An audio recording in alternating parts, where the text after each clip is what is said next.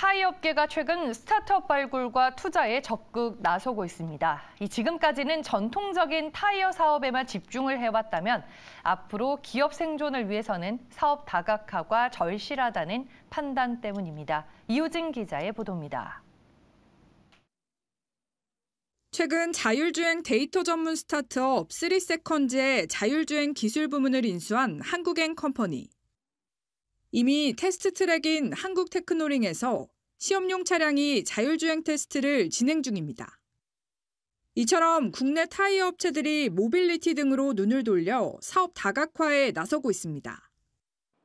한국앤컴퍼니는 2021년 신성장 펀드를 조성해 인공지능 공간정보 스타트업 모빌테크를 첫 투자처로 낙점한 바 있고 지난달에는 계열사인 한국 타이어 앤 테크놀로지가 중고차 이커머스 플랫폼 카머스의 투자자로 참여했습니다. 넥센그룹도 넥센타이어의 벤처 캐피탈 자회사인 넥스트 센츄리 벤처스, NCV를 통해 스타트업 투자에 나서고 있습니다.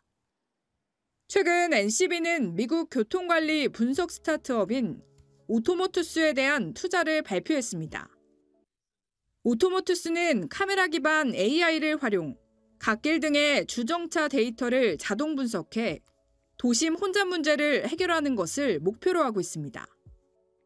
넥스트 센츄리 벤처스는 넥센 그룹의 비전인 모두가 누릴 수 있는 모빌리티 세상에 걸맞는 투자 원칙을 가지고 있습니다. 앞으로도 인류에 공헌할 수 있는 기술력을 가진 업체들을 발굴하여 이러한 현상에는 기존 타이어 사업만으론 미래를 담보할 수 없다는 위기의식이 반영됐다는 분석입니다.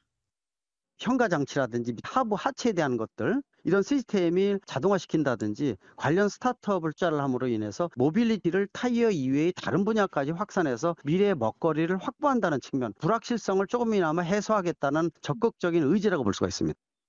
타이어 업계가 스타트업 투자로 미래 먹거리 준비에 나서고 있습니다.